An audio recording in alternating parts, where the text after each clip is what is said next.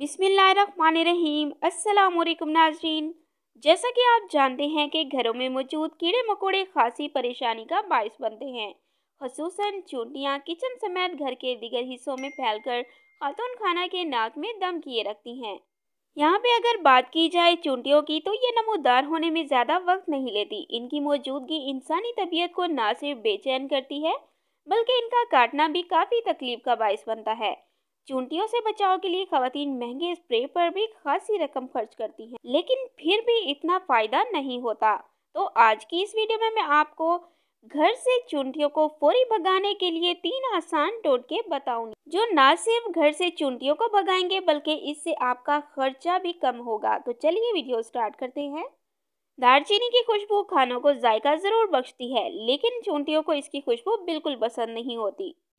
चूंटियों को भगाने के लिए ये टोटका कारामद साबित हो सकता है।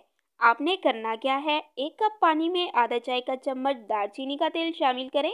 अब इस मिक्सचर में कॉटन यानी रुई भिगोकर इसे इन जगहों पर रखें जहाँ चूंटियाँ आती हैं। सारी चूंटियाँ भाग जाएँगी।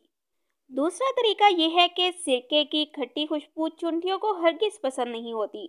इसके लिए एक स्प्रे बोतल में पानी और सिरके को बराबर मिकदार में भर लें। अब इसमें नींबू के चंद कतरे शामिल करें और इसे अच्छी तरह हिलाएँ और चुंटियों की जगहों पर स्प्रे करें चुंटियाँ भाग जाएँगी।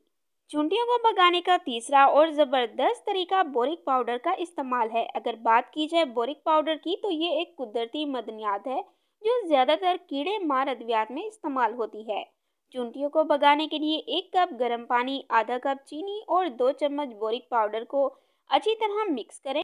अब इस मिक्सचर में कॉटन को भिगोकर मुतासर जगहों पर इसको रख दें तो सारी चुंडियाँ भाग जाएँगी।